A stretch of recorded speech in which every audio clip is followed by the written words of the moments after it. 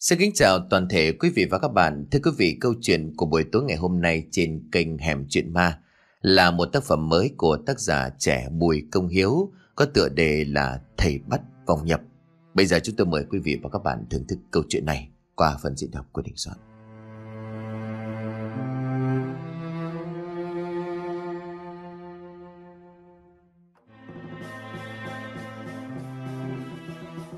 Tiếng trống đánh vang lên mỗi lúc một lớn hơn, làm cho bầu không khí trung thu đã tràn về. Vẫn là tiếng cười đùa của trẻ con vang lên đầm mỹ, nhà nào nhà nấy cống sáng trưng đèn. Tiếng nhạc mờ mỗi lúc một to. Trong con ngõ nhỏ, nền đường đất được bao xung quanh là những bụi cỏ rậm rạp, cao đến đầu gối, cũng đang đùng đưa theo từng làn gió. Điều này làm cho đám nhóc lúc nào cũng thích mê thích mệt, trông có vẻ khá lệch nghịch ngợm kéo tay của người lớn đi dạo trên đường làng trong đêm tối, nhưng mà nụ cười lúc nào cũng vang lên ở trên môi. Đám nhóc ở trong làng này đông lắm, khó có thể mà kể hết ra từng đứa một. Cũng sàn sàn tuổi nhau, lúc nào cũng tí tớt đi với nhau đủ kiểu, nô đùa nghịch ngợm quậy phá đủ thứ, làm đủ trò ầm ầm cả ngôi làng này lên. Bây giờ thì cũng đã sang tháng 8 âm lịch, là cái tháng bao nhiêu đứa lúc nào cũng háo hức chờ đợi. Chúng cũng chỉ mới quay trở lại trường sau một đợt nghỉ hè dài. Đã mấy ngày hôm nay trống đã nổi lên, kèm theo đó là những tiếng chiêng tiếng cổng vang lên không ngứt. Đám trẻ con rất háo hức nhanh chóng rục dã bố mẹ, ngay cả từ lúc ăn uống cho đến khi rửa bát. Chỉ mong rằng sẽ được mọi người dẫn ra bên ngoài để vui chơi trong cái bầu không khí trung thu như vậy. Trong đám nhóc đi với nhau, đứa nào đứa nấy cũng tiếu tít hết cả mắt. Đều mắt không ngừng rõ sự vui mừng khi được đưa đi chơi như vậy. Cảm xúc cứ phải nói là vô cùng hào hứng. Nhưng vì chúng nó vẫn còn quá bé, cho nên cũng chưa tham gia được vào giống các anh chị lớn. Đây cũng là điều mà tất cả đều đã biết từ trước, không có gì thay đổi được cả. Thằng cô tí nhà ở cuối làng cũng không phải ngoại lệ. Nhưng gia cảnh của thằng bé thì không có giống như được các bạn. Bố mẹ lúc nào cũng đi làm chăm chăm, ít khi chú ý tới thằng bé tội nghiệp. Cũng phải thôi, họ phải chạy theo đồng tiền, phải nuôi sống từng miệng người. Vậy nên mọi thứ cũng không có được như những cậu bé khác. Thằng bé ở một mình như vậy, nhưng may sao được cô Thảo ở nhà bên, là một người hàng xóm lâu năm. Cô không lấy chồng mà ở vậy, bởi vì có một lý do là lưng của cô bị gù, làm cho ấy nấy nhìn vào cũng không ưa, không muốn tiếp xúc. Nhưng mà ở gần cô Thảo cho nên thằng Tý lúc nào cũng được cô cưng chiều, không khác gì con của mình. Bố mẹ của nó thích vậy thì cũng có thể yên tâm được phần nào. Ngày ngày cũng có thể lai nhau đi trên con xe cả tàng đi làm. Còn thằng cô Tý thì được cô Thảo chăm. Cũng vừa được một công đôi việc, Cô Thảo ở nhà làm lụng cũng bất nhiêu quạnh hơn. Cô làm nghề may vá. Trong nhà lúc nào cũng có đủ các thể loại vải, đủ màu sắc, nhìn ngoặt thôi đã thấy thích mắt rồi. Còn thằng tí thì về nhà cũng có người chăm sóc như vậy cũng đã là ổn. Nó cứ vui vẻ như vậy trải qua, suốt từ lúc học lớp 1 cho đến bây giờ đã là lớp 3. Vậy mà đã hai năm cuộc sống vẫn cứ lặp đi lặp lại. Nó không có ở nhà nhiều mà toàn tập trung sang bên nhà cô Thảo là chính. Chỉ có tối là sẽ có mặt ở nhà. Nhưng cũng có nhiều khi nó không có ở đây. Cô Thảo cũng là một người mà nó coi là quan trọng. Cho nên lúc nào cũng có kẹo hay là bánh ai cho hoặc là lớp nó phát đều đem về cho cô. Nhiều người thích thằng bé như vậy thì cũng trêu. Những cái Thảo chẳng khác gì như mẹ của thằng bé nhỉ? Phải đấy, nó cứ quấn lấy cô ấy suốt thôi. Ai không biết sẽ nói cái khác mà. Đó là miệng lưỡi của thiên hạ. Trêu nhau thì có thần rồi lại còn nhiều cái nữa không nói hết. Nhưng mà cuộc sống thì vẫn diễn ra như vậy thôi. Chứ đâu có gì phải bận tâm chỉ bằng vài lời nói như vậy. Thằng tí thì mấy tối trước cũng toàn tự đi một mình, rồi đi ra gặp đám bạn của nó. Sau đó cũng đi với phụ huynh ra bên ngoài. Hôm nay đứa nào đứa này cũng đã chuẩn bị gần xong hết tất cả. Nào là những chiếc đèn lồng xinh xắn dán đủ các loại giấy, trông đùng đình làm sao. Rồi cạn với đó là chi chít các loại súng đồ chơi phát ra những âm thanh vô cùng thích thú. Cô tí sau khi nô đùa nghịch cùng với đám bạn, thì cũng đã thành ra khá là thích thú với mấy món đồ chơi này. Đuổi nhau chán chê mồ hôi ướt sũng cả người. Nó từ từ tiến vào bên trong một góc của sân kho, sau đó ngồi bệt xuống, ngồi cùng với một đứa bạn cùng lớp chơi thần với nhau. Hai đứa bắt đầu nhìn những anh chị lớn hơn đang nối nhau tập để chuẩn bị cho buổi tập trung ở ngoài xã, biểu diễn to mà năm nào cũng có. Rồi có đủ các loại chạy đủ màu sắc, hết chuyện này rồi đến chuyện kia. Rồi có cả những khi múa máy trông ai cũng nấy đều xinh đẹp. Thằng bạn thân tên là Tùng, nhưng nhà ở khác ngõ. Thường thường thì khi đi học, thằng Tý vẫn hay đợi thằng này ở một bóng cây ven đường. Hai thằng nhìn phía bên kia cũng cau mày, sau đó chép miệng. Này, mày đã mua đồ gì chơi trung thu chưa? Chưa. Mấy nữa tao mới xin, chứ bây giờ xin làm gì mà sớm quá. Hai thằng chỉ còn biết thẫn thờ nhìn nhau. Ánh mắt cũng khá là thần thư, không nói thêm câu nào nữa. Trong đám bạn cùng trăng lứa, đứa nào đứa nấy cũng khá vui vẻ trong đống đồ chơi. Còn đây thì hai thằng vật vờ đi ra bên ngoài cho gọi là có không khí, ngồi cho hết buổi tối tránh sự nhàm chán ở nhà. Bởi vì ai nấy cũng đủ biết rằng, có ngồi vào bàn học hay đi chăng nữa thì cũng chẳng thể tập trung. Bên trong nhà lúc nào cũng vang lên những âm thanh thúc giục không ngớt. Phá tan đi cái không khí yên bình vốn có của làng quê. Thằng tí thì có vẻ hơi buồn, Nó cũng chưa dám xin tiền để mua những món đồ nó thích Nó quá thích chứ không phải là thích nữa nó thích cái đèn lồng phát ra những âm thanh vô cùng thích tai. Nhưng mỗi lần đi qua thì nó chỉ biết nhìn rồi sau đó lắc đầu. Bố mẹ của nó suốt ngày như vậy. Có cả ngày cũng chẳng gặp nhau. Làm sao có thể ngồi nói chuyện được như bình thường cơ chứ? Hai thằng đợi cho đến khi mọi người tập xong thì cũng đi ra rồi chia tay nhau ra về. Hẹn ngày mai đi hầm sẽ đợi nhau ở chỗ cũ. Đồng quan điểm rồi cùng nhau nhất trí, hai thằng ra về. Đi trên con đường về nhà tối om, nhưng may sao ở đằng sau cũng có mấy người nhanh chóng bước đi như vậy. Điều này làm cho thằng bé cũng không cảm thấy sợ. Nó không có về nhà mà đi sang bên nhà của cô Thảo, rồi sau đó mở cửa đi vào bên trong. Vẫn là cái dáng vẻ hiền diệu của cô, ít khi nào thằng tí thấy cô hay nổi nóng với nó. Căn bản là vẫn chỉ bực bội khi thấy nó nghịch ngợm quá mức mà thôi. Nó ở với cô như vậy, cô cho nó nhiều thứ nhưng nó không có dám mở mồm xin bất cứ điều gì. Thế mà nó hôm nay có vẻ hơi khác so với mọi ngày. Là một người nuôi nấng nó cho nên cô Thảo nhanh chóng phát hiện ra được điều này cô hỏi. Hôm nay có chuyện gì mà cô thấy mày có vẻ lạ đấy tí? À, dạ không có gì đâu. Chạy với thằng bạn mỗi lúc mệt quá nên thành ra vậy đó cô. Cô Thảo thế vậy cũng không hỏi gì thêm mà nhanh chóng dùng nó đi thay đồ. Tiền thể đưa luôn cho nó một bộ quần áo mới. Nó vẫn còn đang có vẻ ngơ ngác sau đó hỏi. Sao lại đưa cháu? Cô Thảo lúc này chỉ cười tấm lưng cầm của cô lộ ra thấy rõ. Cô khẽ cốc vào đầu của nó một cái làm cho nó khá là nhăn nhó rồi mắng. Đúng là tí, suy nghĩ cũng bé ý như là cái tên vậy. Năm nay đây là quà trung thu sớm của mày đấy, mặc vào cho cô xem nào. Nói xong thì cũng chỉ biết gãi đầu ra chiều hơi ngại ngùng. Nó nhanh chóng đi ra bên ngoài giếng. Nhìn vào cảnh vật đang đung đưa sau đó, nó tắm cho vội vàng vì tiết trời khá lạnh. Nhanh chóng lao vào bên trong, lấy khăn cuốn vào người cho xong việc, rồi mặc nhanh bộ quần áo mà cô Thảo vừa mới may cho. Quá vừa quá là đẹp thế nghề bao nhiêu năm của cô Thảo không bao giờ làm cho người khác phải thất vọng. Trong đó vừa vặn như vậy cô Thảo vỗ tay cái đét làm cho nó giật mình cô hỏi. Sao thế cô? Có chuyện gì vậy ạ? À? Đẹp lắm. Mặc vừa vặn thế này là cô ưng rồi. Cô Thảo cười lớn rồi sau đó quay người lại một vòng nữa. Kiểm trang hết xong thì cô ưng ý, sau đó đi vào trong giường. Nó thấy như vậy thì cũng chỉ biết thở ngắn than dài. Áo thật sự rất đẹp. Nói chung cứ có dịp là cô Thảo lại tự tay may cho nó một bộ quần áo. Dần dần những bộ sườn cũ cũng đã làm rẻ lau. Nó mặc giờ toàn là đồ cô Thảo may. Nhưng thứ mà nó đang thực sự muốn là gì?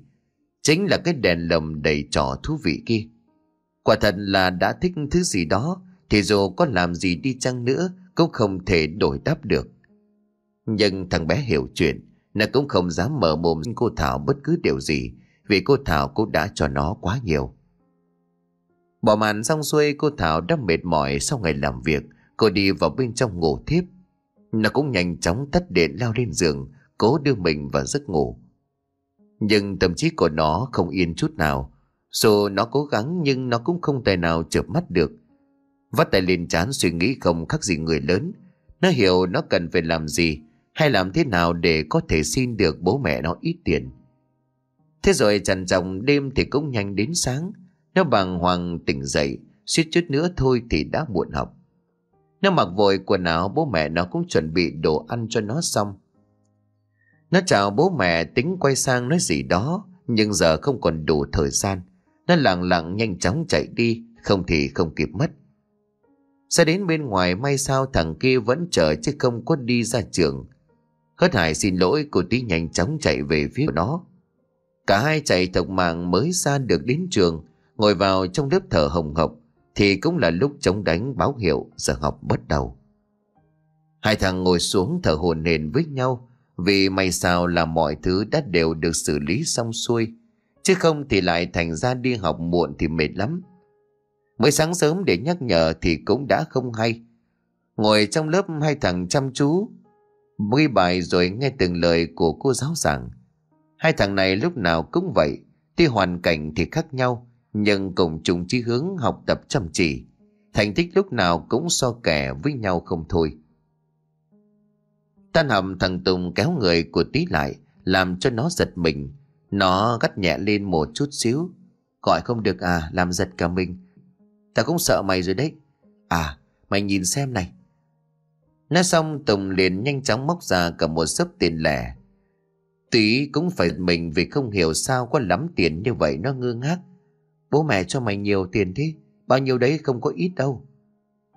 Thằng Tùng vẫn tỏ ra khá điểm nhiên, nó quay sang nhìn bạn.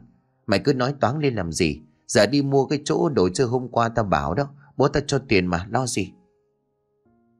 Nói xong hai thằng chạy về quán mua đồ ăn, trong đồ lúc nào cũng đẹp, nhưng thằng bạn của mình thì cầm tiền lên trả. Tí cúi người xuống mình sau đó thì lột cây túi ra, chỉ còn vài tờ lẻ, không có đủ một góc phần của món đồ đó thì làm sao? Đang lúng túng thì thằng Tùng cầm đồ chơi, tiền tay áp luôn que kem vào mặt nó sau đó bảo. Về thôi mày. Vừa đi trên đường gặp mấy đứa khác cũng giúp lại xem đồ chơi làm cho thằng tí cảm thấy khá là tủi thân. Cái độ tuổi này cũng có rất nhiều cái bất đồng, không biết phải nói sao hay làm sao cho phải nữa. Nó trông thấy cái đám khác đi đi lại lại xem xét món đồ chơi mới của Tùng mà nó chỉ biết lắc đầu. Nó khá hậm hực đi từng bước về nhà mà không ngừng thở dài. Về đến nhà cô Thảo gọi nó ăn cơm nhưng nó lấy cớ rằng mệt cho nên không muốn ăn. Cô Thảo biết mặt nó có vấn đề rồi nhưng cũng không có buồn hỏi vì từ mấy hôm nay nó cũng chẳng nói thêm điều gì. Nó cứ nằm quay đi quay lại cho đến khi mồ hôi ướt sũng cả lưng nó bật dậy vừa mới sang đầu chiều. Nó hít thở bầu không khí một lúc, sau đó nhanh chóng tiến về nhà của mình. Bắt tay và dọn dẹp tất cả mọi ngóc ngách. Thái độ này làm cho cô Thảo ở trên cũng giật nảy mình, lắc đầu hỏi chính bản thân. Không biết thằng này nó mệt quá có bị sao không? Chứ như thế này thì chắc là không được ổn cho lắm. Nhưng thằng tí làm hết xong xuôi, rồi cắm cả cơm ra chờ đợi bố mẹ nó về. Thời gian cứ như vậy trôi qua trong sự lòng của nó. Ngồi xem tivi mà cứ chạy ra bên ngoài ngó nghiêng không ngừng. Nhà cửa bàn ghế bếp núc đường nó lau dọn sạch sẽ không thiếu thứ gì. Nó cứ nhìn chằm chằm ra bên ngoài, hết xe này đi qua rồi xe kia lại đi tới, trông khá là chán nản. Trời cũng bắt đầu chuyển dần những tia nắng cũng yếu hẳn đi, bầu không khí cũng dần thay đổi. Những người làm về cũng bắt đầu nhiều hơn, nó chờ đợi mãi thì cuối cùng tiếng xe cổ ở bên ngoài cũng vang lên. Nó cũng nhanh chóng đi vào bên trong nhà, chuẩn bị hết đồ đạc cho bố mẹ. Bố mẹ của nó xuống xe nó nhanh chóng ra đón rồi đỡ đồ đủ kiểu, rồi bố mẹ của nó đi tắm rồi ăn uống. Ngay cả bố mẹ của nó cũng thấy lạ, cứ đồn đẩy nhau nhiều chuyện vô cùng khó hiểu. Hai người cũng khá là mệt mỏi rồi sau đó lắc đầu đi tắm rửa, ngồi vào trong bàn ăn. Na thấp thỏm không thôi cứ định nói thế rồi lại thích kia Nhưng cuối cùng lại ngồi xuống. Ngồi ăn cơm xong nó phụ bố mẹ dọn dẹp hết đống bát đũa nó hỏi chuyện. Mày có điều gì mà lạ vậy con? Sao cứ thấp thỏm lên như vậy? Chẳng biết mày đang nghĩ gì. Tiếng nghe xong như vậy Nhưng nó cũng chỉ biết lắc đầu không nói gì thêm. Sau đó thì nó bắt đầu nói nhỏ với mẹ. Cần muốn mua cái đèn lồng. Mẹ nó nghe xong thì cũng chỉ ngoái nhìn sang phía nó rồi nói Ra xin bố xem thế nào. Thế rồi nó lại lục đục mò ra chỗ bố đang xem phim. Bố nó thì nó ấp ống rồi hỏi, Dạo này học hành sao rồi tí? Bố mẹ không kèm vẫn học được chứ? Thì tất nhiên bao giờ cũng vậy, Đối với phụ huynh thì cũng không có biết được rằng Con của mình thích gì và muốn làm gì, Quan tâm đến gì. Thế nhưng mà đám trẻ cũng đâu thể ngày ngày cắm đầu vào sách vở, Rồi bàn học quá nhiều thứ. Chúng nó vẫn là con người, Cũng cần có giải lao nghỉ ngơi. Nó gật đầu ra vẻ chăm chỉ. Bố nó thế vậy, nói xong thì cũng gật gù. Nó quay sang nói chuyện với bố nó về vấn đề cái đèn lồng thì bố nó quay sang, Thái độ có vẻ hơi khác. Đồ chơi. Chẳng phải là đã mua nhiều lắm rồi sao? Lồng đèn năm ngoái bố mua rồi còn gì? Sao đã phải mua cây mới? Cứ dùng cái này đi. Cái nào mà trả như nhau? Rồi còn bao nhiêu đồ chất đống lên như vậy? Mà mày cũng có thèm chơi đâu. Mua về rồi lại bỏ phí đi. Nó nghe xong như vậy biết mình đã mừng hụt. Bộ nó cũng là một người nghiêm khắc cho nên nó sợ. Nhưng vẫn cố gắng thử hỏi thêm lần nữa. Điều này làm cho bố nó càng lúc càng nói to. Chăm chỉ mà học hành đi. Giỏi rồi thì, thì bố mua cho cái thứ khác mà chơi. Càng đòi thì lại càng chẳng có cái gì cả. Nó biết như vậy đã là hết hy vọng. Cũng không có dám xin nữa Mà đi ra bên ngoài. Mặc cho tiếng tivi vẫn vang lên ở trong nhà. Nó cũng chỉ dưng đôi mắt buồn nhìn ra cảnh vật bên ngoài.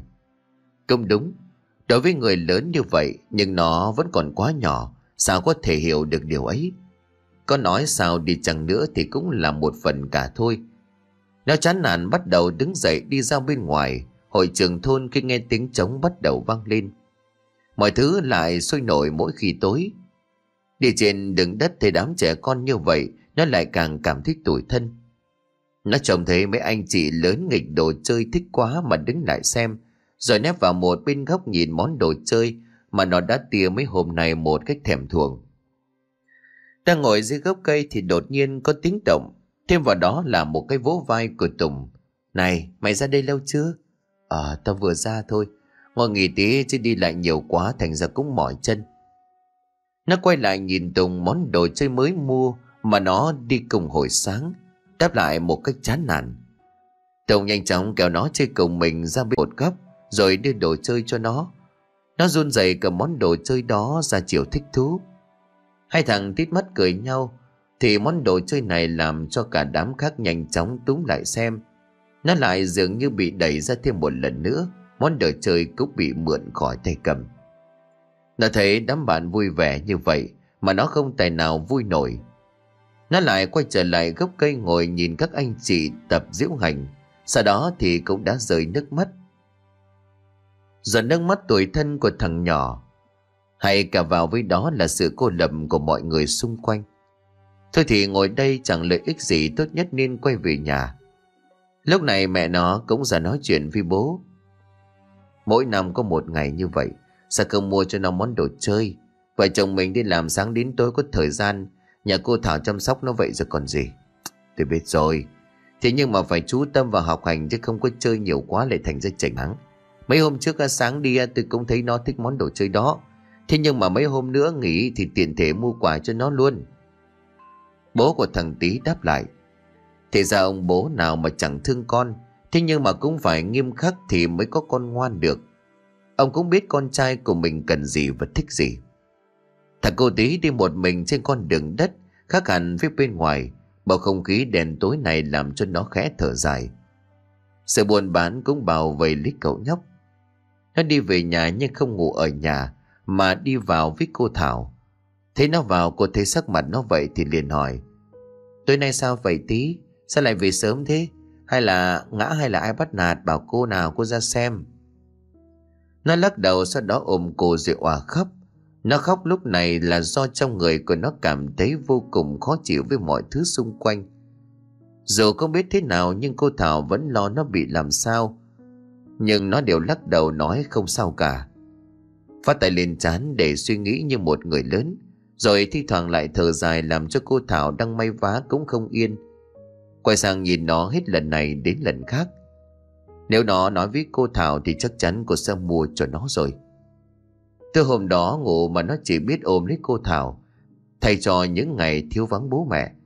Từ lúc nó có thể quấn lấy cô Thảo thì hai bố mẹ có cũng đi làm nhiều hơn.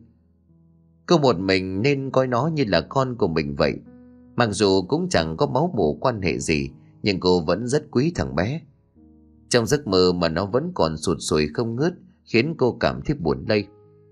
Sáng hôm sau cô nói chuyện với bố mẹ nó vấn đề này, nhưng hai người cũng không có biết chuyện gì. Còn thằng tí thì mặc quần áo ăn vội bánh mì rồi đi học. Nó đổi thổi trên con đường làng, bố mẹ nó muốn chở nó ra bên ngoài nhưng nó lắc đầu. Tùng thì chưa biết có chuyện gì nhưng nó vẫn đứng yên một chỗ đợi tí. Nhưng tí nó lại chẳng quan tâm mà cứ bước đi làm cho thằng bé phải chạy lại hỏi. Thằng tí thấy có vẻ hơi ngại cho nên cũng chỉ biết lúng túng. À, ta có chút chuyện cần suy nghĩ không sao cả. Mày đi nhanh đi không không vào giờ học đấy. Tùng thấy như vậy thì vui vẻ gật đầu. Hai thằng đi cùng nhau nhưng có vẻ tí ra chiều khá là khó chịu. Tưởng có đồ chơi mới thành ra là cũng quên nó luôn. Cái này ai mà không chán cho được. Bạn bè đi chăng nữa làm như vậy thì là quá đáng.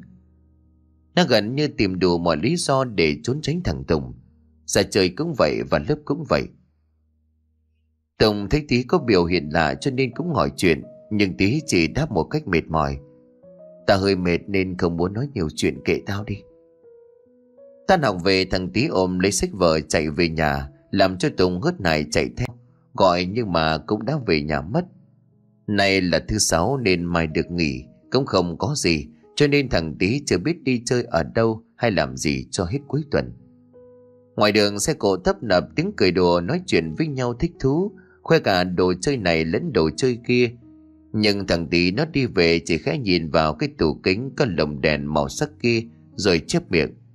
Biết là không được mua rồi cho nên nó chỉ tiếc rẻ, rồi chạm vào mặt kính, sau đó nhanh chóng lèn qua chút đông rồi trở về nhà. Chiều đó ngồi ăn cơm cùng cô Thảo Cô Thảo sáng ngày trao đổi với bố mẹ, Nhưng cũng chưa có nhận được câu trả lời thích đáng. Cho nên cô vẫn cố gắng thì thằng Tý kể cho cô nghe, Nhưng nó cũng không muốn trả lời nữa mà đánh chống làng.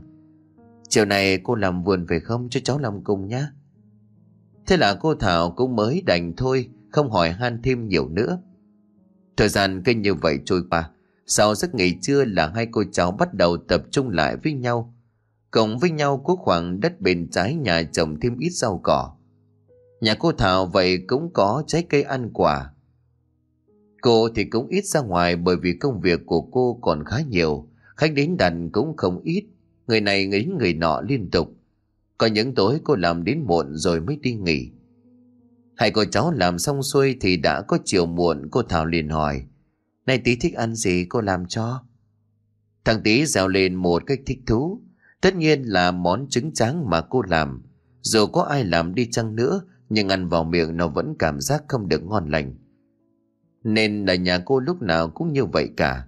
Cô Thảo cười cười rồi bảo, được rồi, bận hết người dưới đấy tắm rửa thay quần áo đi. Cô đi à, thay đồ tắm rửa rồi cô làm bữa cho cô cháu mình nhá. Tí nghe vậy thì cũng nhanh chóng đi làm theo. Nó cũng chỉ muốn ở đây thì còn sự vui vẻ Chứ về nhà thì không khí lúc nào cũng bao trùm lên nó là một sự cô đơn. Nó không muốn về nhà. Hai cô cháu nấu nướng xong xuôi thì ngồi vào trong bàn ăn, ăn uống một cách khá là vui vẻ. Tiếng cười đùa vang lên tại ngôi nhà. Cảm giác vô cùng ấm cúng. Tối nay nó đi chơi tiếp. Cô Thảo đưa nó cái đèn pin nhỏ sợ tối. Nó cầm lấy sau đó vui vẻ chạy ra bên ngoài, rồi đi trên con đường đất nó cũng chẳng có ý thêm vào nhà làm gì, vì khả năng ăn trời cũng cao, cho nên tốt nhất là im lặng. Nó đi ra bên ngoài hít thở bầu không khí, sau đó bước ra bên ngoài. Nhưng nó sẽ không ra ngoài kia làm gì, mặc dù mọi thứ khá là vui vẻ. Nhưng ở đó thằng Tùng lúc nào cũng được đám trẻ con bù lấy. Nó cầm cái đèn pin cô Thảo cho mượn, sau đó đi một vòng xung quanh. Hết nhà này rồi lại người này chở nhau đi xung quanh. Nó cứ cầm đèn pin đổi lỗi như vậy.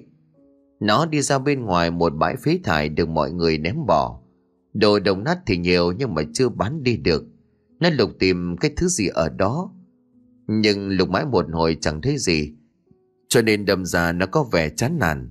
Nó ngồi trong bóng tối rồi lại ngước lên nhìn bầu trời thở dài mệt mỏi. Nó tính đi về thì đột nhiên đá vào một vật gì đó, làm cho cái vật đó rơi lông lốc. Nó cũng thấy vậy cho nên cũng chưa có rời đi vội, mà lấy đèn pin soi xuống để kiểm tra.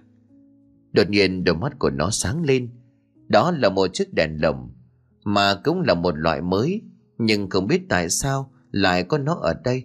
Chỉ mỗi tội là nó hơi bẩn và bị cong vài chỗ. Nó cầm cái đèn lồng nghịch ngợm một chút sau đó gật đầu. Thả như vậy vẫn còn tốt hơn. Nói xong nó cầm chiếc đèn như một chiến lợi phẩm rồi thích thú quay người trở về nhà. Bên trong hội trường lúc này vẫn còn sáng đèn. Nó mau chóng chạy về nhà với một bộ dạng lén lút. Cất gọn cái đèn lồng vào một góc tránh mưa gió. Không may lúc này nó nói nhỏ cho chính bản thân của mình nghe. Được rồi. Mai tao sẽ lôi mày ra để sửa. Nắn bóp lại một chút là xong đẹp ngay. Ai lại vứt đi như vậy phí quá. Nói xong, nó đi vào trong phòng cô Thảo. Trong mặt của nó cũng đã tươi tắn hơn khá nhiều, vì kiếm được món đồ khá ưng ý. May sao nó cũng vẫn còn dùng tốt. Nó đi vào trong giường, sau đó lăn ra ngủ đi. Cô Thảo thế vậy thì cũng bật quạt cỡ lớn, để xoa dịu đi cái nóng vẫn còn đeo bám trên cơ thể của nó. Nó cứ như vậy chìm đắm vào những suy nghĩ vui vẻ mà không nghĩ rằng có một điều kinh khủng sắp xảy ra. Không hẳn là sắp nhưng cũng nhanh tới mà thôi. Điều đó lại vô cùng rõ bởi vì khởi nguồn điều này bắt nguồn từ cái đèn lồng không rõ nguồn gốc kia. Trông nó cũng có kích cỡ chung cho nên nhìn vào rất thích mắt. Có bóng dáng của ai đó đang thấp thoáng bên ngoài dưới ánh trăng mờ ảo, làm cho cô Thảo chẳng tỉnh giấc. Nhưng ngay lập tức nó cũng biến mất. Sáng hôm sau, thằng Tý mang cái đèn lồng này khoe cho cô Thảo xem. Cô Thảo khá ngạc nhiên rồi hỏi thằng Tý thì nó kể y nguyên những gì đêm qua nó làm. Cậu cũng không suy nghĩ nhiều về chiếc đèn lồng méo mó này. Bảo sao nó nói dối để làm gì, kể cả có tiền đi chăng nữa mà mua được cây mới thì cũng không có những cái vết xước kỳ lạ. Với lại thằng tí nó giữ đồ chơi lắm. Kể cả nó mua nhưng nó cũng chẳng dám làm cái lồng đèn đắt như này thành ra méo mó như vậy. Nhưng cô vẫn thắc mắc tại sao nó còn mới như vậy đã bị vứt đi. Chắc chỉ là do nó bị méo như vậy. Đằng nào thì cũng giúp đỡ nó rồi. Cho nên cũng nhanh chóng cho xong. Cô Thảo cùng nó sửa chữa lại chiếc đèn lồng. Cô Thảo tuy vậy nhưng lại là một người khéo tay. Trang trí món đồ cho nó vô cùng cẩn thận đẹp đẽ, không khác gì mới. Thằng tí cầm trên tay mà thích thú, bấm nút cho nhạc phát ra. Nhưng chồng nó kể chuyện có chút gì đó buồn buồn, chắc là vì bố mẹ không cho nó mua đồ, cho nên mặt nó xỉu ra mấy ngày hôm nay như vậy. Cầm chiếc đèn lồng trên tay nó liền chép miệng nói Cái này á còn đẹp hơn đồ của thằng Tùng mới mua Chả sợ gì cả trong chiếc đèn lồng được bàn tay cô Thảo trang trí thêm thêm đẹp làm sao. Nó cầm lên không thấy gì chán nản. Chồng nó cứ ngồi nghịch như vậy chẳng đi đâu, Nên cô Thảo cũng xong xuôi. Đến tối, nó cầm chiếc đèn lồng ra bên ngoài chơi. Bố mẹ nó nhìn thấy thì cũng cau mày hỏi, Cái đèn lồng đẹp như vậy thì cũng không phải một số tiền nhỏ. Mẹ nó xuống hỏi cô Thảo, cô kể lại mọi chuyện. Nhưng có vẻ như chẳng ai lấy làm tin chuyện này.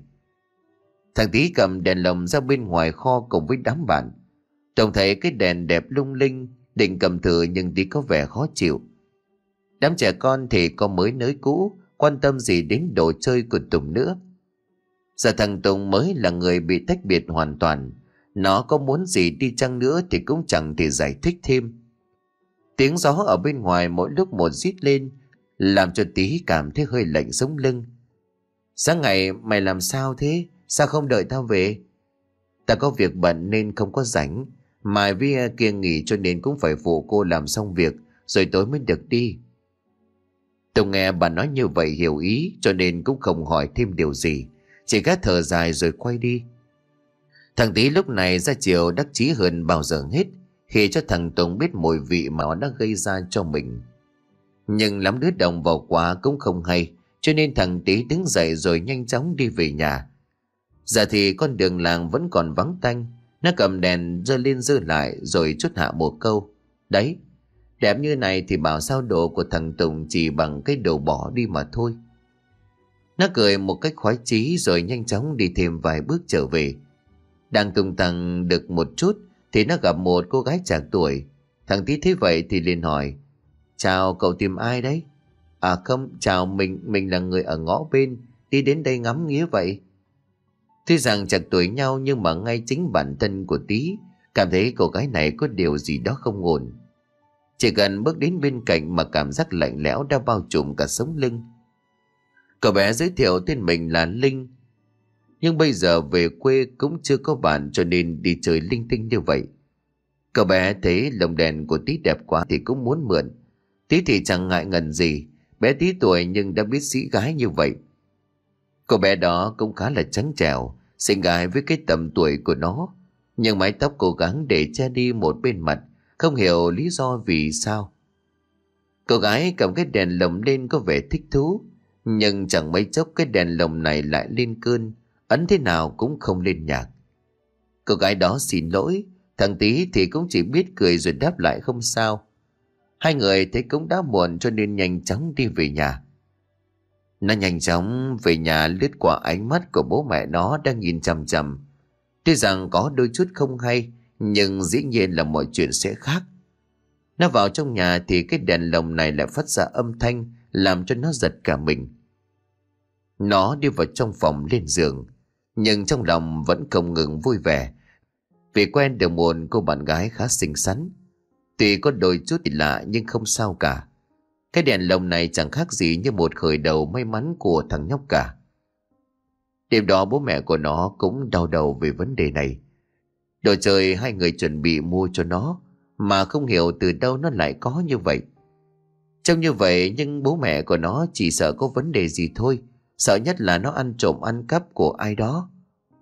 Là người lớn cho nên tất cả đều phân tích qua chiều sâu một cách gọn gàng, kỹ lưỡng như vậy. Dù sao đi chăng nữa thì cũng phải hỏi lại cho rõ ràng. Cả ngày hôm sau chủ nhật, bố mẹ nó ở nhà nhưng nó vẫn chỉ giúp bên nhà cô Thảo, Thậm chí là không ra bên ngoài kiểm tra lại cái đèn lồng. Để đối này nó lại mang ra bên ngoài hội trường thôn, Lại tiếp tục trở thành tâm điểm của đám trẻ con. Nó đi ra bên ngoài thì đột nhiên giọng của bố nó làm cho nó hụt hẫng. Tí, Lại lại để bố hỏi chuyện. Sao vậy bố? Bọn nó nhìn cái đèn lồng để hỏi chuyện Nhưng nó vẫn trả lời cộc lốc, Sau đó cầm chiếc đèn lồng rời đi. Những bước đi của nó mỗi lúc một nhanh, Tiến ra bên ngoài hội trường thôn, Tiếng trống tiếng chiêng cũng vang lên inh ỏi. Thằng Tùng thấy nó muốn tiến lại rồi hỏi nhưng thôi. Còn thằng Tí cứ ngồi như vậy, Nhìn theo các anh chị tập mà thành ra thích thú. Nó mơ hồ mà ngắn gọn nói một hai câu.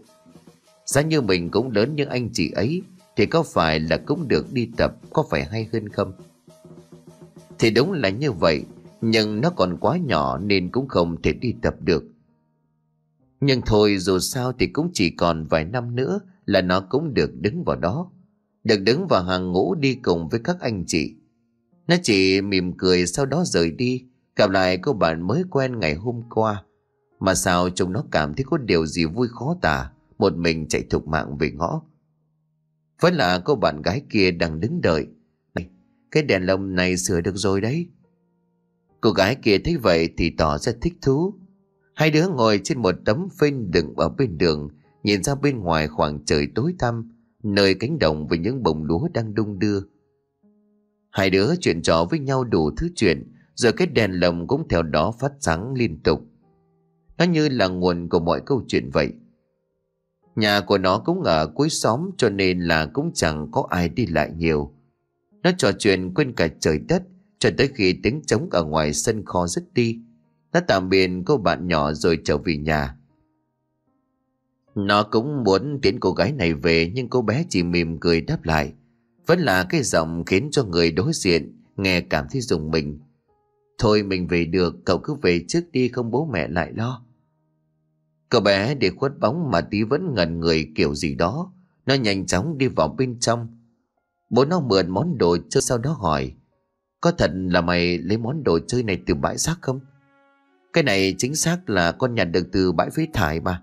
Tới hôm trước mình con ra ngoài này mà. Nhưng bố nó vẫn có vẻ không tin. Mạnh bắt đầu câu có rồi dần dần quát lớn, Mày lấy tiền đâu ra mà mua? Nói nhanh đi. Mày có tí tuổi đầu mà học thói bố lao. Ăn trộm ăn cắp không có ngơi tay như vậy hả? Suy nghĩ của một thằng nhỏ lúc này đã bị đả động không kém. Thực sự thì nó không có làm gì cả. Sao bố nó lại nghi oan cho nó? Nó không nói gì, tính rời đi, Thì bố nó lại kéo tay lại. Ta có cái gì không đủ cho mày, Mà mày phải làm mấy cái chuyện như vậy. Nếu không ở được thì cút khỏi nhà tao đi. Ta không có nuôi mấy cái loại mất dạy như mày. Con không quan trọng ăn cắp. Cái này là con nói thật, Sao bố có nghĩ con vậy? Thằng tí lúc này cũng đã nói hết những gì mà nó dồn nén bấy lâu nay. Điều này càng làm cho bố nó càng tức giận hơn. Cô Thảo và mẹ nó đang nói chuyện dưới nhà nhanh chóng đi lên. Một cái vả thằng mặt làm cho nó quay ngoắt người đi. Mà nó bị bố nó thắt đỏ ửng.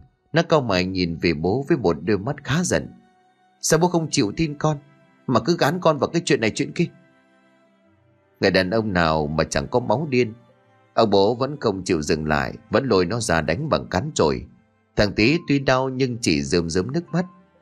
Nó chỉ ôm khư khư lấy cái lồng đèn Mà không để cho nó bị méo hay làm sao đó. Bố nó lại càng điên tiết hơn đánh nó mỗi lúc một mạnh Nhưng thằng bé vẫn không chịu buông bỏ.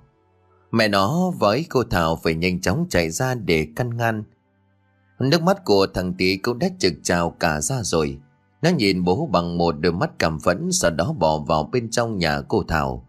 Mang cho nó có trời như thế nào đi chăng nữa. Mẹ nó thấy tình hình không ổn Nên kéo nó vào bên trong nhà để khuyên giải. Cô Thảo nhanh chóng đi vào bên trong xem nó như thế nào để hỏi chuyện. Mọi chuyện có vẻ như càng căng thẳng hơn. Thằng tí nó không lăn ra khóc, Mà chỉ khẽ vào bên trong giường lau đi những giọt nước mắt đang rơi, Ôm chặt lấy cái đèn lồng. Giờ nó mới là niềm an ủi duy nhất của nó ngay trong lúc này. Vì nó bị bố đánh khá là đau, Cho nên bây giờ phải làm như vậy. Không chỉ vì cái đèn lồng này nó nhặt được thật. Tính tình của nó như nào thì cô Thảo là người hiểu rõ nhất. Điều đó nó là chắc chắn. Bởi vì cô chăm nom nó còn hơn cả bố mẹ của nó cơ mà. Làm sao mà cô tin nó ăn trộm, ăn cắp gì được? Chỉ có những người không quan tâm con cái Xong rồi cứ nghĩ bừa, nghĩ phứa làm cho bọn trẻ càng nên như vậy. Cô Thảo lúc này vào bên trong an ủi nó, nhưng nó chỉ thở dài rồi đáp. Con không sao đâu, cô cứ vào nghỉ ngơi đi. Nói rồi nó quay người sang cố gắng đưa mình vào giấc ngủ. Mai chuẩn bị đi học, nhưng mà sao vít bị đánh kia, nó cứ nhó đi như vậy. Chỉ còn năm này nữa là đến lúc đi ra ngoài xã, lúc đó thì còn bao nhiêu thứ thích mê nữa cơ. Với lại còn được nghỉ học thì còn gì bằng. Nó cứ nằm đó mà suy nghĩ vẩn vơ. Đột nhiên nó nghe thấy tiếng cười ở bên tai khá là quen thuộc. Không có gì đó sai cả, Đó chính là của bạn gái mới quen. Nó cũng chìm vào trong giấc mơ. Cậu bé dễ thường xinh xắn kia Nhìn đã thích mê rồi. Kéo tay nó chạy vào bên trong những chỗ vui chơi, Làm cho nó cười tít cả mắt. Dù chỉ là trong mơ nhưng mà sao cảm giác sống lưng của nó vẫn khá lạnh khi gần bên cô bé kia. Cô bé vẫn như lúc mà nó gặp, vấn đề một bên tóc trẻ đi nửa khuôn mặt, cười vô cùng hồn nhiên. Nó cũng vì vậy mà đắm chìm vào cũng cười vô cùng thoải mái. Trong mọi chuyện tưởng chừng chẳng có gì mà cô Thảo lại cảm thấy điều gì đó không ổn cho lắm. Đang ngộ mà nó cứ cười lên không khác gì bị ma nhập. Cô nhanh chóng vỗ vào người của nó gọi cho nó tỉnh giấc lại. Nó mở mắt rồi nói với cô trong sự tức tối. Cô Thảo để cho cháu ngủ đi, mai cháu còn đi học nữa. Bị quấy như vậy vì thái độ của ai cũng có thái độ như vậy, nhưng nó nhanh chóng nằm xuống. Mà đêm cứ như vậy trôi qua, trời dần sáng chính xác là vẫn còn lờ mờ. Thằng tí tỉnh giấc sớm hơn mọi ngày, sớm hơn cả cô Thảo đi ra bên ngoài, thế cô bé kia đã đợi không biết từ bao giờ. Hai đứa trò chuyện với nhau một lúc, thằng tí lại quay trở vào trong nhà. Chuẩn bị cặp sách của mặc quần áo, nó nói với cô bé hẹn nhau rằng sáng nay thì nó sẽ ra bên ngoài trường. Nhưng chỉ có hai đứa gặp nhau thôi, chứ không cho mấy đứa khác biết. Nhiên là thằng tí ngày thờ đồng ý, hai đứa móc ngéo tay của nhau. Thằng tí mặc quần áo xong xuôi thì cũng được cô Thảo dúi cho mấy cái bánh bắt ăn sáng chứ không để cho nó nhịn. Nó cầm cái bánh bóc ăn ngon lành sau đó đi ra bên ngoài. Bố nó thấy vậy thì bèn nhanh chóng gọi nó, nhưng nó không có nghe mà quay ngoắt đi ra bên đường. Nó chạy ra đường nhanh nhất có thể vì nó cũng chẳng có muốn nói chuyện với bố nó. Cũng vì do ông đã nghĩ ngợi quá nhiều đánh nó đau đến mức như vậy. Cả tối hôm qua hai vợ chồng đã nói chuyện với nhau làm cho bố thằng tí chỉ biết cúi đầu vì ngay như bản thân ông đã sai. Muốn gọi thằng tí chuẩn bị đi họp lại xin lỗi nhưng nó không thèm nghe. Và ông cũng biết chắc một điều thằng bé đang giận mình. Nói chung thì cũng sắp đến ngày thì cũng chuẩn bị đồ đạc cho con cái đầy đủ. Cũng đừng nghi ngờ quá mức rồi lại như kia thì khổ. Ngoài đường mới sáng ra âm nhạc cũng đã nổi lên tí vỗ ngực rồi nói, Cố lên rồi lại được nghỉ tiếp.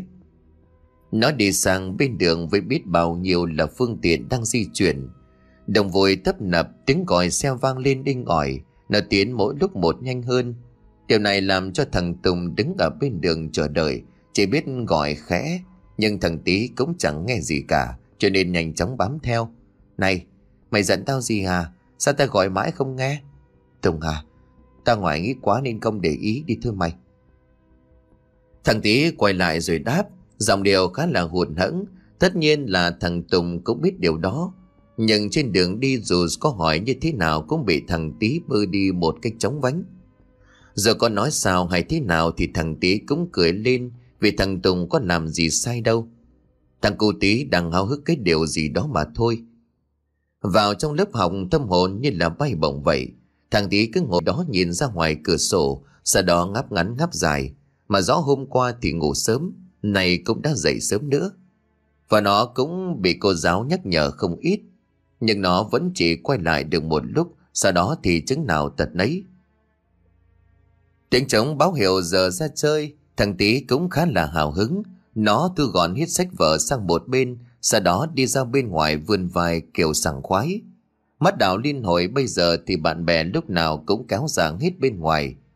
Thằng Tùng cũng muốn đi nhưng thằng tí đã chạy nhanh hơn ra bên ngoài một gốc cây rậm rạp. Đằng sau khi phát hiện cô bé lạ mặt kia, Hai đứa cũng đã gặp nhau ở ngoài này, nói chuyện rôm rả sau đó thì lại nghịch mấy cái thứ khác. Dường như thằng tí đang có vẻ mê mẩn hơn là mấy thứ khác.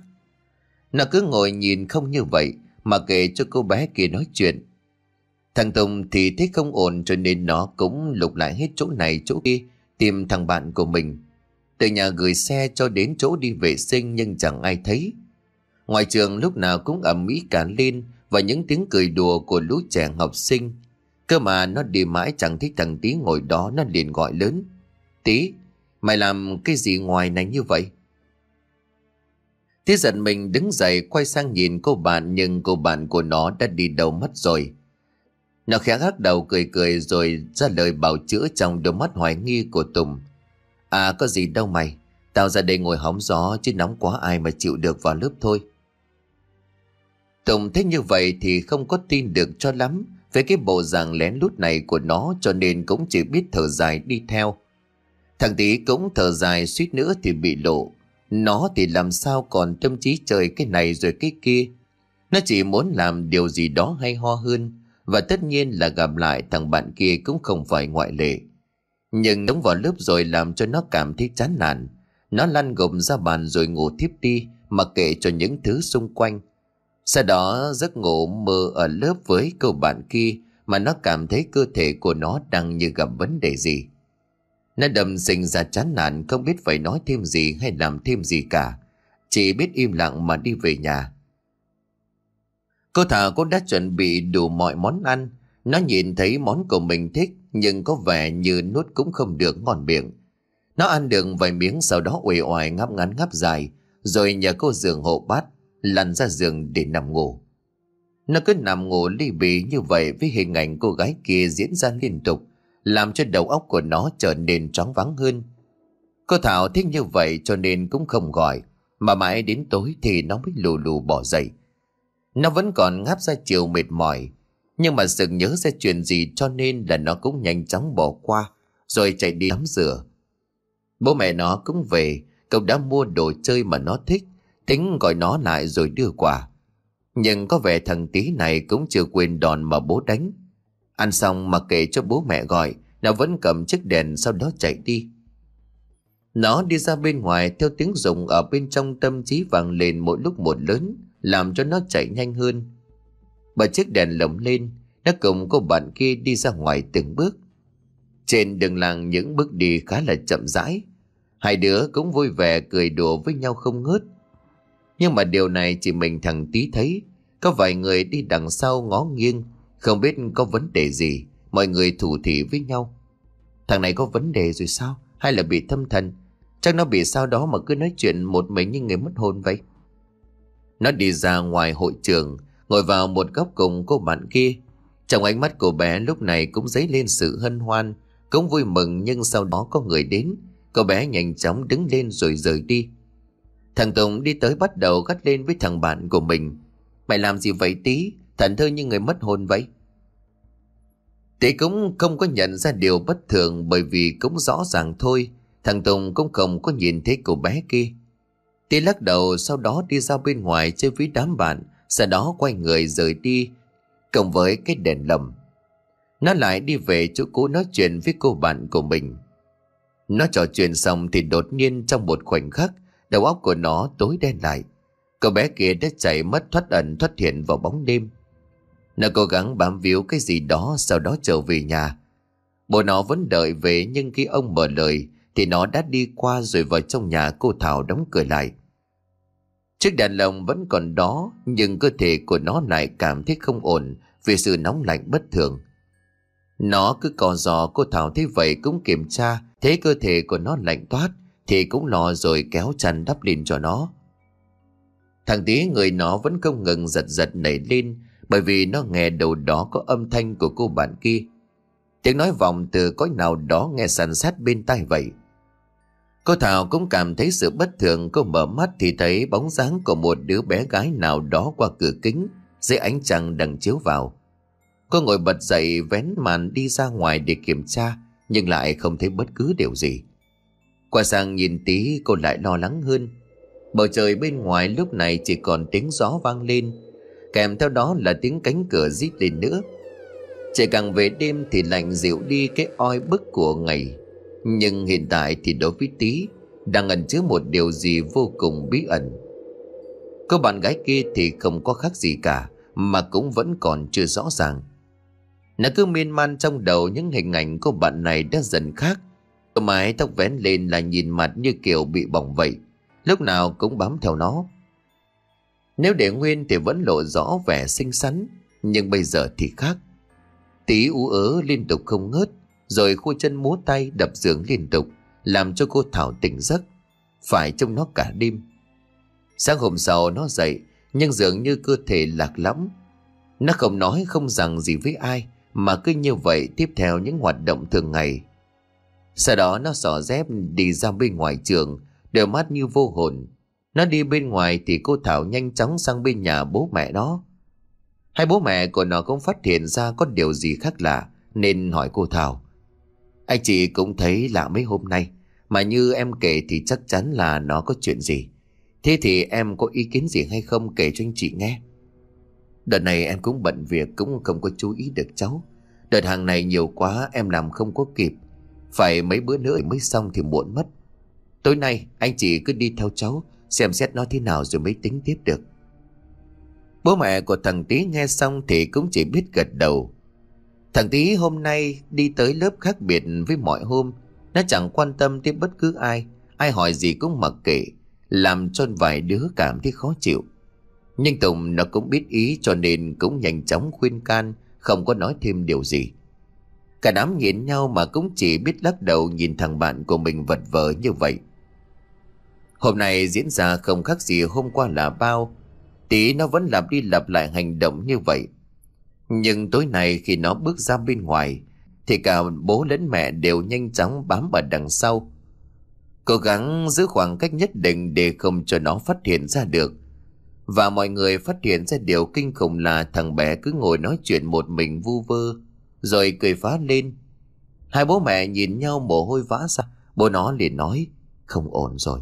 Thằng tí gặp chuyện, nhanh đến chứ tôi nghĩ là không có kịp đâu, nó bị ma theo rồi. Mẹ nó lúc này cũng cảm thấy lo, không biết phải làm sao tay chân chỉ biết bám chặt vào bố của nó. Mồm run lên không ngừng, giọng nói có vẻ như sắp khóc. Mình à, phải làm sao đây, con nó bị gì kia? Bố nó cũng phải vỗ vai chấn an mẹ, sau đó thì tiến một mạch ra bên ngoài cho thằng tí ngồi. Mà lúc này đỏ ngầu lên và nó cũng có đôi chút gì đó vô cùng hoang mang.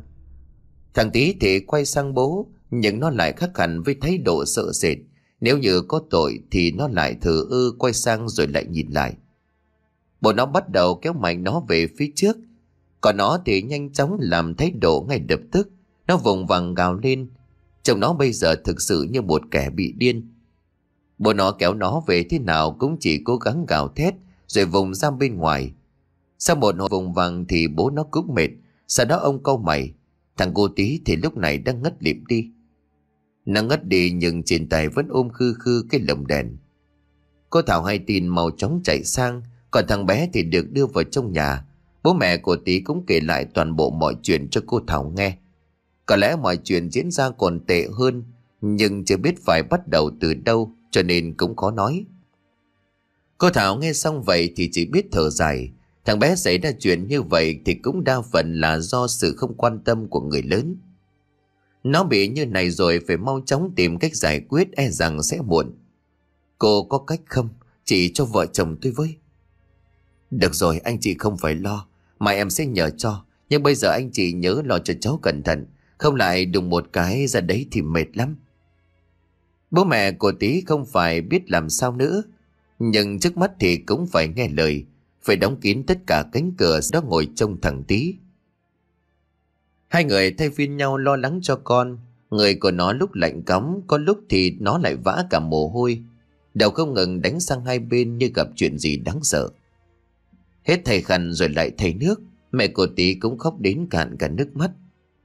Nó cho tới sáng thì vẫn trong trạng thái như vậy, không có tỉnh giấc được. Cô Thảo cũng nấu cháo mang sang cho cả nhà. Nó vẫn nằm như vậy, cô Thảo thấy tình hình cả nhà hơi căng thẳng, cho nên bèn dục. Anh chỉ cứ ăn uống lấy sức đi. Cả đêm qua đã không ngủ nghỉ gì. Trông người xuống sắc lắm. Bố mẹ của thằng Tí nghe vậy thì cũng cố gắng nuốt vì con mà đang nằm đó cần chăm sóc. Vừa ăn bố của Tí vừa hỏi cô Thảo. Không biết là cô tính giúp kiểu gì. Tối qua người của nó lúc nóng lúc lạnh tôi sợ quá. Mong sao bây giờ cháu nó ổn lại. Nói xong, cả ba đều quay sang nhìn Tí. Lúc này thằng Tí vẫn trì ở chỗ bản kia không rời đi.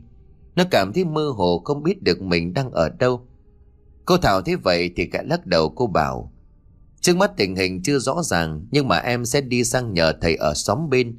Anh chị cũng xin nghỉ để xem cháu nó làm sao. Với lại cũng phải trông nom nó nữa. Hai người cũng gật đầu, xong rồi cô Thảo nhanh chóng đi sang bên nhà ông thầy. Bố mẹ nó cũng bắt đầu gọi điện báo nghỉ. Sau đó thì quay trở lại bên nó. Hai người lộ rõ vẻ mặt hối hận, Nhìn cái lồng đèn mà nó thích mua Nhưng không biết nó tỉnh lại để nhận hay không Điều này cũng làm cho mọi thứ trở nên rối tung như vậy Đi sang bên thư chuyện Đông thầy nghe xong thì cũng bấm đốt tay các thứ, Sau đó rồi lắc đầu trách Tôi không hiểu các bậc phụ huynh như thế nào đây Thằng bé nó còn nhỏ chưa ý thức được Thôi thì dù sao mọi chuyện nó cũng đã diễn ra Có trách ai đi nữa thì không giải quyết được vấn đề Bây giờ tôi sang bên đó cùng mọi người xem xét ngay đến đây cô Thảo vâng dạ sau đó cùng thầy quay trở về nhà của Tý. Thấy thầy tới, bố mẹ của thằng bé nhanh chóng đứng dậy chào hỏi. Ông thầy hiền từ đi từng bước vào bên trong. Thế nó nằm yên như vậy, cơ thể biểu hiện lên khuôn mặt vô cùng khó chịu. Ông thầy ngồi xuống suy nghĩ một lúc sau đó bảo, Nó có cái gì lạ như là nhặt được cái gì hay là lấy được cái gì không? Bố mẹ nó cũng gật đầu đưa chiếc đèn lồng cho ông thầy. Đồ của người chết âm khi vẫn còn. Ai nấy nghe xong thì không mấy ngạc nhiên, bởi vì từ khi có chiếc đèn lồng này thì cũng như biến thành một người khác. Ông thầy thấy cơ thể của nó run lên một cách bất thường như vậy thì chỉ biết chép miệng sau đó bảo mọi người quét đi cái nền nhà. Bố mẹ nó làm theo những lời ông thầy dặn. Xong rồi ông thầy đóng tất cả cánh cửa lại. Rồi thầy lấy trong túi ra thứ gì đó có bột màu vàng, sau đó rắc xuống đất. Thầy lấy ra mấy cây nến khá to, sau đó thắp lên xung quanh rồi bảo bố mẹ nó cởi trần nó ra. Đặt xuống chỗ đó trước khi phủ một lớp muối. Ông thầy lấy ra một cái lá gì đó rồi để vào mồm của tí. Ông thầy lau đi những vệt mồ hôi, bởi vì bên ngoài trời lúc này ánh nắng đã bao phủ. Lấy một cây hương to sau đó lia quanh người của thằng bé. Phải mất thêm một lúc khi người của nó đổ mồ hôi ra thì thôi. Lau người cho nó xong, bố mẹ nó bắt đầu súng lại rồi hỏi chuyện. Có chuyện gì vậy thầy? Thằng bé sẽ tỉnh lại chứ? Làm gì có chuyện đó, nó cũng chưa thể tỉnh ngay được đâu. Càng dối lên thì chẳng giải quyết được gì. Tốt nhất là im lặng đi rồi tính tiếp. Nó bị bắt mất vía. Đàn ông con trai ba hồn bảy vía bị mất mất dù chỉ là một. Thì người cũng chẳng khác gì điên đâu. Trước mắt cứ là bình tĩnh đi để tìm cách giải quyết. Thầy nghe vậy câu mày đáp lại làm cho hai người chuẩn bị mừng rỡ thành ra mừng hụt. Thằng tí thì vẫn nằm yên bất động. Nhưng có vẻ cái lúc nãy mà ông thầy làm thì cũng đã giúp cho nó ổn hơn khá nhiều. Thầy ngồi nhìn chiếc đèn lồng trầm ngâm không nói, sau đó bóp đốt ngón tay. Khá là chậm rãi làm cho ai nấy không khỏi nóng lòng. Chồng ông thầy vô cùng đăm chiêu, không có biết phải làm sao. Nói rồi ông thầy đứng lên sau đó hỏi gia đình. Nó nhặt được chiếc đèn lồng này ở đâu mọi người biết không? Bố mẹ nó nhìn nhau rồi cũng bảo là nó nhặt được ở bãi phế liệu cách đây không xa. Ông thầy vuốt dâu bố nó cũng nhanh chóng lại hỏi. Có chuyện gì vậy thầy? Thầy có thể nói cho bọn con nghe được không cháu nó liệu ổn chứ? Thì cũng không có biết phải làm sao để nói cho phải. Thế nhưng mà dù sao đi chăng nữa thì nó dùng đồ của người chết. Tôi chỉ sợ là trẻ con thì chúng nó không có hiểu chuyện. Để tôi tính xem như thế nào đã rồi mới nói tiếp. Ông đứng lên đi đi lại lại, có khi làm cho mọi người còn sốt ruột hơn. Ông thầy đứng lên rồi sau đó đi ra bên ngoài nhìn ngó xung quanh. Ông ta dùng mình vì cảm giác như căn nhà đang có vị khách nào đó không được chào đón. Ông thầy cao mày rồi đi vào bên trong, ngồi xuống bàn cùng với lại cốc trà nóng vừa mới được pha. Ông cũng lắc đầu rồi trao đổi lại với bố mẹ thằng cu tí. Hai người nghe xong cũng chỉ biết lắc đầu, bởi vì cái này là lỗi của khá nhiều người. Nhưng bố mẹ của nó là người nhiều lỗi nhất. Nghe đến đây dù sao đi chăng nữa thì cũng phải giúp cho nó tới nơi đến trốn. Ông thầy liền đáp. Ngày mai là ngày đẹp, mọi người giúp tôi mang đồ đạc ra bên ngoài cái bãi phế liệu kia. Nó cần phải ra chỗ đấy thì mới giải quyết được. Thằng Tùng cũng ở đâu xuất hiện, nó tranh thủ ra chơi chạy về xem bạn của mình. Thế nó khá là lén lút, bố mẹ của Tí gọi vào bên trong. Thằng bé đi vào nhìn Tí hỏi han đủ kiểu. Ông thầy cũng hỏi thêm cặn nè về mấy biểu hiện khác của Tí và được bạn của nó kể cho nghe. Không phải nhanh được ngày nào hay ngày đó, không lại ngồi nhớ ra đấy. Bây giờ trước mắt thì cứ như thế đã, mọi người cứ làm sao cho thật tốt là được. Nghe vậy xong thì tất cả cũng chỉ biết vâng dạ, sau đó thì cùng nhau đứng dậy tiến ông thầy. Ông thầy dặn mua thêm một số thứ đồ để cúng bái cho đàng hoàng. Sau đó rời đi sau tiếng xe máy bòn bòn trên con đường đất. Thằng Tùng cũng không có về mà muốn ở lại đây để chăm nom thằng tí. Dù bố mẹ của nó có nói thế nào đi chăng nữa thì cũng khó có thể xoay chuyển được nó. Biết nguyên nhân là cái lồng đèn bố của thằng tí cũng chỉ biết cúi đầu vì ông đã nghi oan cho con và cũng nghiêm khắc quá thành ra nó phải làm như vậy xong rồi vẫn bị nghi là ăn trộm. Cái lồng đèn này cũng đã được để gọn vào một chỗ mà cũng không có được bỏ quên nó. Nếu không thì sẽ có chuyện. Cho nên từ lúc ông thầy về, nó là thứ được chú ý hơn cả thằng tí. Mẹ nó thì cũng chỉ biết ngồi yên bên cạnh, cùng với thằng Tùng đang ngồi im chẳng biết nói gì. Sau khi mọi thứ được phơi bày hết, câu chuyện nó lại đơn giản là thằng tí có vấn đề, chứ hai đứa chẳng có gì ghen ghét nhau. Tâm lý cũng chỉ ngày lúc đó mà thôi. Nhưng nó cũng không biết mấy cái chuyện này. Mẹ thằng tí cũng hỏi thằng Tùng mấy chuyện ở bên ngoài lớp học. Chỉ có duy nhất đợt này nó lạ lùng đến vậy thôi. Còn dường như mọi hôm khác, lúc nào nó cũng cành đùa từng tí với Tùng không chịu thua. Mẹ nó thở dài nhìn về con trai, bao nhiêu suy tư cũng đang cố gắng gửi gắm hết cho đứa con. Câu may là giờ chỉ cần thời gian, ông thầy giúp nó hồi phục lại như cũ, rồi nó còn phải kịp đón trùng thủ nữa. Tổng thấy đã muộn mà mẹ thằng Tý vẫn dùng gấp, cho nên cũng xin phép đi ra ngoài để về. Từ đó cô Thảo cũng sang để trông nom. Dường như đầu đó văng vẳng trong tiếng gió rít mạnh ở bên ngoài kia là những lời nói. Khẩm chính xác là lời gọi mỗi lúc một lớn hơn, thúc mạnh vào tai. Tí ơi tí. Giọng nói này không sai. Chính xác thì là của trẻ con là nhiều. Ngày tới đây da gà của ai đó cũng nổi cả lên. Căn nhà đang nóng phừng phừng như được hạ nhiệt độ. Cái cảm giác gì đó cũng lạnh toát. Uống một cốc nước bố của tí định đi ra bên ngoài để xem mọi chuyện như nào. Thì đột nhiên mẹ của nó nắm chặt tay bố nó lại, ra hiệu không cho đi. Nếu đi ra rồi không biết sẽ còn điều gì gặp phải nữa. Cũng đúng cả thôi. Thằng tí bây giờ nó nằm đây. Mà bố nó có vấn đề gì nữa thì rất mệt mỏi. Cả nhà ngồi im lặng như vậy. Trong suốt quãng thời gian đêm trôi, ai đấy đều ngủ gà ngủ gật, không có dừng chút nào. Nhưng vẫn phải xem xét tình hình của thằng tí, vì ngã hết chỗ này rồi đến chỗ kia. Người thì không có tình nhưng mà tâm trí đang bị dẫn dắt đi như vậy. Đó là một điều vô cùng bất an. Mãi cho đến tận sáng mọi thứ mới dừng lại. Hít thở một hơi thật sâu nhưng cảm giác vẫn còn đang buồn ngủ đeo bám bởi trên người. Hôm nay thì cũng tới gần ngày. Người nào người nấy cũng chuẩn bị dù mới là sáng sớm. Tiếng xe cổ bên ngoài đường inh ỏi. Bố của tí nhìn mẹ nó và cô Thảo sau đó đi ra bên ngoài chợ, mua hết những thứ theo lời dặn của ông thầy. để đứng mạnh mẽ là vậy, nhưng trong đầu của ông cũng chỉ mang theo hy vọng nhỏ nhoi, mong rằng thằng bé sẽ ổn. Mua đồ chuẩn bị hết tất cả mọi thứ xong xuôi ổn thỏa, bố của thằng Tý bước từng bước về nhà. Thằng Tý thì vẫn nằm đó, còn lại ba người thì tranh thủ xử lý xong hết đống đồ, để cho tối nay khi diễn ra việc thì không cần phải chuẩn bị nhiều hơn. Nói chung cái gì chuẩn bị trước thì cũng vẫn tốt hơn. Ở bên ngoài đường chỗ nào cũng được trang trí một cách lộng lẫy. Người đi người ra bên ngoài xã cũng tấp nập khá đông. Nhưng bên trong nhà của tí vẫn ảm đạm. Trời vừa sầm tối loa đài các thứ vang lên. Ông thầy cũng đi tới rồi nhờ mọi người ra bên ngoài bãi phế liệu.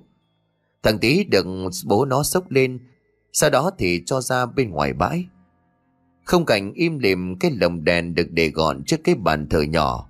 Khẽ chấp miệng một cái, ông thầy liền gõ chuông lên liên hồi. Nhưng cũng vẫn không quên hỏi lại những câu từ cho chắc ăn. Có thật là nó nhặt được ở đây không? Cả nhà đều tin nó rồi cho nên gật đầu đáp lại câu hỏi của ông thầy. Xa xa đầu đó thì vẫn còn tiếng nhạc văng vẳng gần tới. Gió nổi lên mỗi lúc một lớn, cô Thảo thì đang khó khăn trong việc xoay chuyển, thì ngồi yên không nhúc nhích gì cả. Ông thầy nhìn thấy nhưng không nói gì liên tục niệm chú. Nghe văng vẳng đầu đó là những tiếng cười đùa khoái chí, y hệt như cái giọng hôm qua mà cả nhà đã nghe. Ông thầy thoát cả mồ hôi nhưng cũng không có gọi được con bé ra mà chỉ có những âm thanh đáp lại chọc tức. Ông thầy quay sang cầm hết đống kẹo rồi ném ra bên ngoài. Chả mấy chốc mà ai nấy cũng cảm thấy lạnh cả sống lưng. Kẹo ngon quá. Cô Thảo lúc này mới lên tiếng rồi sau đó cầm cái kẹo nhai trong miệng, mắt nhắm tịt lại. Bố mẹ của thằng tí thấy vậy thì lùi lại không dám nói thêm câu gì. Ông thầy mỉm cười. Kẹo ngon có đúng không? Thì đã có quần áo mặc đi chơi giảm chưa? Rồi còn lồng đèn. Cô Thảo chỉ tay vào lồng đèn sau đó nói. Đồ chơi đây, chơi chung với tí, quần áo thì chưa. Thế bây giờ ta cho đồ mặc nhưng thả vía bản tí ra. Rồi ta dẫn ờ, đến một chơi tốt hơn. Bạn tí không có đi được rồi. Ông thầy lại ngọt giọng. Cô Thảo suy nghĩ một lúc rồi sau đó lắc đầu. Ông thầy bắt đầu hỏi nguyên cớ vì sao nó chết. Thì nó là trẻ con cậu nói chuyện một cách chân chu. Bởi vì con bé này là cùng với gia đình về quê xong gặp tai nạn xe. Đồ đạc cũng đã được chuyển về đây cho nên mới ở đây vì cái lồng đèn này là món đồ chơi con bé ôm lấy. Giờ có thêm tí nữa rồi thì nó lại càng vui, chứ không thì cô độc như vậy. Biết trẻ con thì cũng không nên cố gắng gàn ép nó. Chúng còn quá nhỏ chưa có nghĩ thấu được điều gì. Nhưng khả năng của bọn chúng còn lại rất đáng sợ. Ông thầy và bố mẹ của tí cũng phải khóc lóc, mong sao con bé cho tí được tự do. Con bé lúc này xị mặt rồi khóc lóc, sau khi ông thầy hỏi nó muốn chuyện gì. Trông nó rất đáng thương, số phận đùn đẩy con bé mới thành ra như vậy. Con bé chỉ muốn được gặp lại bố mẹ của nó mà thôi, để có thể cùng với nhau nơi chín suối. Ông thầy lúc này gật đầu đồng ý, cậu bé cười tít mắt lên, những giọt nước mắt dường như cũng tàn biến theo. Ông thầy rung lắc chuông liên tục mỗi lúc một mạnh, cậu bé kia cũng rời khỏi người cô Thảo. Cô Thảo ngã gồng xuống đất may sao được mẹ của thằng Tý đỡ lại. Bố của Tý nhìn ông thầy rồi cũng khá ấp úng vì chưa biết phải nói sao cho phải. Bây giờ làm gì vậy thầy? Ông thầy trầm mặc rồi nói, Đồ đạc mang ra có bao nhiêu thì đốt đi Cô Thảo thì pha trà gừng uống là được Còn thằng bé thì cứ từ từ tôi đợi thêm một chút Bố mẹ của tí nghe xong vậy thì cũng làm luôn Mọi đồ vật được mua và mang ra đây cũng bị đốt hóa cho cô bé xấu số Hai người nghe câu chuyện của con bé thì cũng thấy nó quá là đáng thương. Chết rồi nhưng vẫn cô độc một mình như vậy Nên bảo sao cứ đi theo tí như thế. Công chỉ mong sao cô bé lúc này sớm có thể tìm được bố mẹ ở nơi chín suối, rồi cả nhà sẽ đoàn tụ với nhau. Ông thầy ấn mạnh tay vào chán của tí, sau đó dùng tấm áo phủ lên người của nó, rồi bắt đầu cầm hương xoa lên liên tục. Được một lúc ông thầy hồn hển ngồi bệt xuống, thì cũng đứng được nhưng mà rồi người mệt lả đi. Mọi người thu dọn về ông thầy cũng về luôn không có nhận tiền, mà chỉ bảo gia đình nên quan tâm chú ý thằng nhỏ nhiều hơn. Ai nấy cũng gật đầu nghe răm rắp, sau đó tiến đông thầy. Ngày hôm sau cả hai cô cháu cũng đã tỉnh lại. Tỷ cũng có thể đi ra bên ngoài xã để cùng với bạn bè đi chơi cùng nhau sau khi gần mất trung thu. Nó đã trở về và lại cùng với thằng Tùng nô đùa với chiếc đèn lồng xinh xắn bố mẹ nó đã mua cho nó trước vài hôm và bây giờ cũng đã đúng với những gì mà nó mong ước. Bố mẹ nó đi ra thì nó vui vẻ như vậy thì cũng mừng cho nó. Hai người thật sự cũng nhận ra sai lầm của mình. Không chú ý chăm sóc tới con để xảy ra vấn đề không hay. Nó cũng như một lời nhắc nhở những bậc làm cha làm mẹ. Hãy quan tâm chú ý con cái. Lắng nghe thấu hiểu những suy tư của con. Đừng áp đặt suy nghĩ của mình lên bọn nhỏ, để có thể chúng hiểu hơn và biết những gì chúng mong muốn.